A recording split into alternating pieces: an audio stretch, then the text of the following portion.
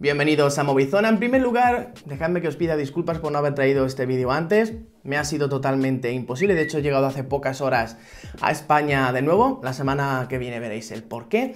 Bien, nuevo Poco X2. Y lo de nuevo es porque sí, es un nuevo Pocophone, pero está basado totalmente en un Redmi K30 4G. Hay mucha polémica alrededor de este dispositivo. Es una decepción, es un telefonazo, es un dispositivo que realmente hace honor a la marca Poco. Bien, vamos a ver todas esas especificaciones interesantes de este dispositivo, pero luego también quiero hacer una reflexión acerca de este terminal porque creo que a veces es mm, injusto incluso sin haberlo probado. Así que primero, especificaciones y luego un poquito de opinión. Y por cierto, quédate hasta el final del vídeo porque te tengo que comentar algo, una pinceladita de un próximo vídeo de un teléfono de gama alta de Samsung que lanzaré en unos días. Así que comenzamos.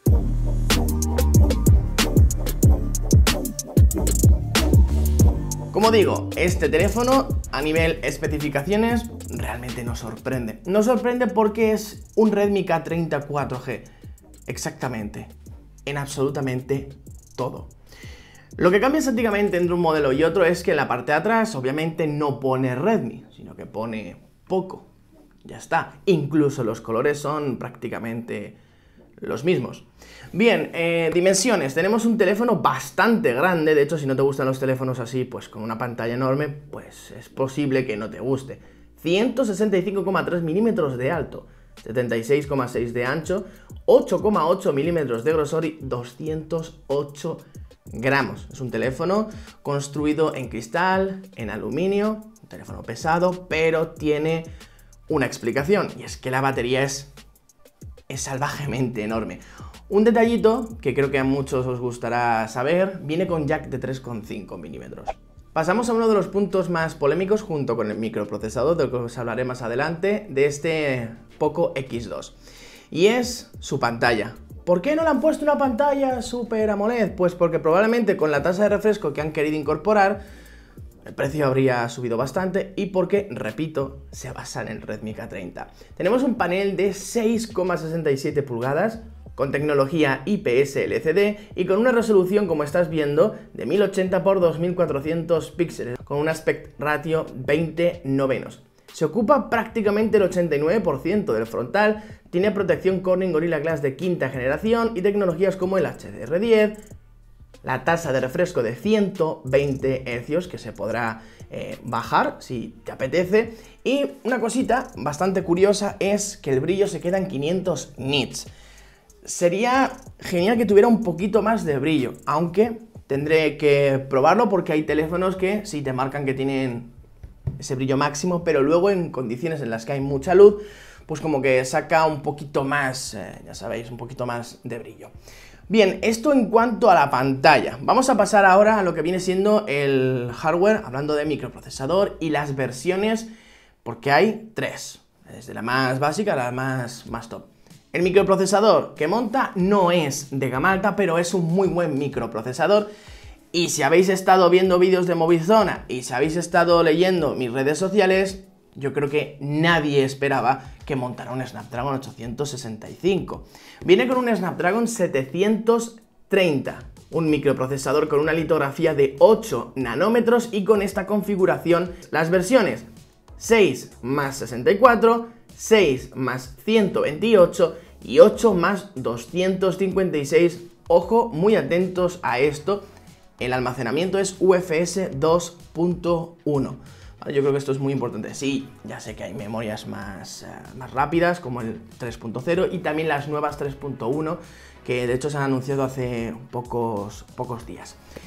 Yo creo que este teléfono, además incorporando una GPU Adreno 618, me parece que a nivel de videojuegos y de cualquier lo que sea que quieras hacer, cualquier aplicación, cualquier proceso, todo, el teléfono va a funcionar súper bien pero súper bien.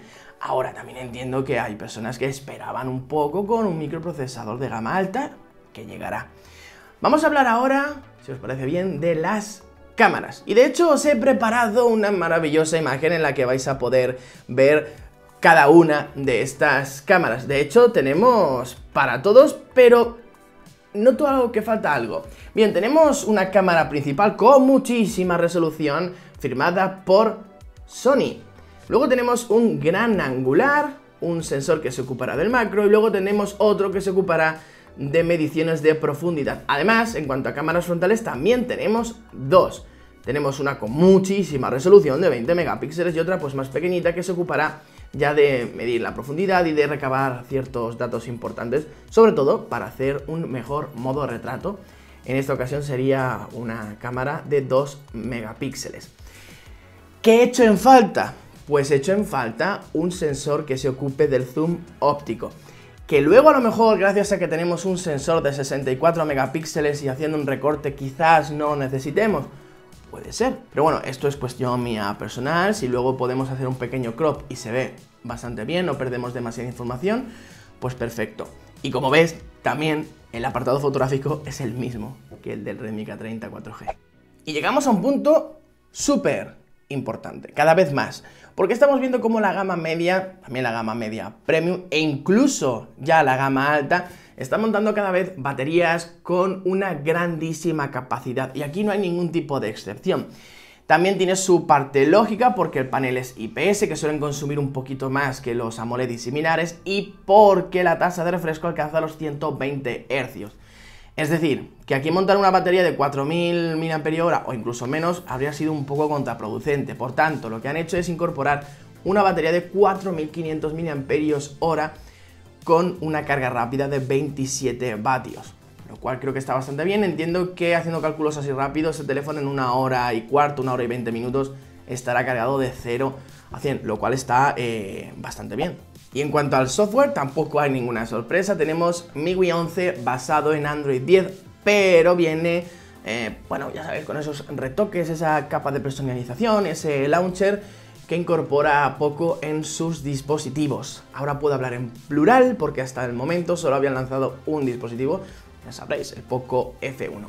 Vamos ahora con el tema de la conectividad, que en mi opinión está bastante bien, es bastante completo. Tenemos Wi-Fi, ABGN, AC de doble banda, AGPS, GLONASS, Galileo, BDS, Bluetooth 5.0, USB, OTG y como os he comentado antes también tenemos jack de 3,5 milímetros. Si vas a comprar este dispositivo, mira muy bien las bandas compatibles en tu país, en tu operador, porque es bastante probable. De hecho, creo que respecto a las bandas que se utilizan en España, creo que hay un par que no tiene.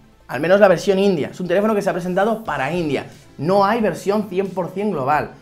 Soy muy pesado con esto, pero es que luego os compráis los teléfonos y me decís, oye, mira, que es que no me funciona el 4G con mi operador o no me funciona. Claro, porque hay bandas que no son compatibles. Así que mirad muy bien esto. Bien, tema precio, al cambio. Luego había que aplicar diferentes impuestos, aranceles, dependiendo del país. Estamos hablando de 205 euros para la versión 6 más 64, 220 euros para la versión 6 más 128 y unos 255 euros para la versión 8 más 256. La de 205 euros yo creo que en España cuando acabe llegando, que espero llegue, se venderá seguro por debajo de los 300 euros, lo cual me parece bastante bien y lógico. Porque recordad, el Poco F1 llegó a España por 329 euros, así que no creo que se venda por más de 300, de 300 euros. Bien, esto en cuanto a todo lo que trae el dispositivo, que está genial, que está muy bien, pero ahora me parece que es vital hacer una pequeña reflexión porque creo que se está levantando como una especie de polémica bastante estéril alrededor del dispositivo. si quitas el tema del microprocesador, que el 730G está bastante bien, tienes mejor batería, mayor pantalla, para los que le guste, eh, tienes el tema de los 120 Hz, eh, yo creo que está bastante bien. El diseño es más bonito, em, aunque bueno, si lo hubieran lanzado en plástico también se le habrían tirado al, cuello. Tiene mejores cámaras y más cámaras, entonces a mí me parece un mejor teléfono que el Poco F1. Así que, efectivamente, ese teléfono no viene a sustituir al Poco F1, sino tendremos un Poco F2 o un Poco X2 Pro próximamente que se basará en el eh, Redmi K30 Pro, que todavía no se ha presentado, que en unas semanas tendremos entre nosotros. Y luego, en relación calidad, precio, prestaciones, me parece uno de los mejores teléfonos que te puedas comprar actualmente. Cuando se lance, si es, yo creo que va a ser así, por debajo de los 300 euros, es que va a ser uno de los mejores teléfonos que te puedas comprar, con un rendimiento brutal, con una muy buena autonomía, con una buena carga rápida, con una pantalla, salvo que, no, yo, tiene que ser AMOLED o similar, si no, mm, mis ojos se salen de sus órbitas, no puedo, me explota la cabeza, vale, pues, entonces no. Pero si no eres uno de ese 1% tan tiquismiquis, pues yo creo que la pantalla está mm, bastante bien. Y ahora te pregunto a ti, ¿qué opinas de este teléfono? ¿Te resulta decepcionante? ¿Te resulta un teléfono muy recomendable? Déjame tu opinión, también hay términos medios, en los comentarios.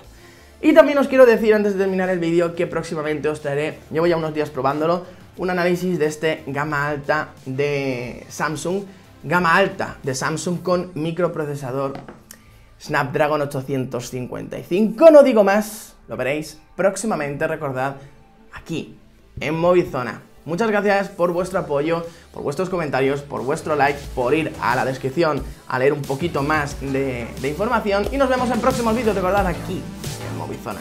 Chao.